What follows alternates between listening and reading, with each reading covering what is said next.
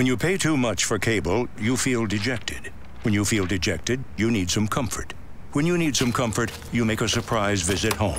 When you make a surprise visit home, you discover something new about your parents. When you discover something new about your parents, you speed off with tears in your eyes. And when you speed off with tears in your eyes, you drive into a pizzeria that makes great baked ziti. Don't drive into a pizzeria that makes great baked ziti. Get rid of cable and upgrade to DirecTV. Call 1 800 DirecTV.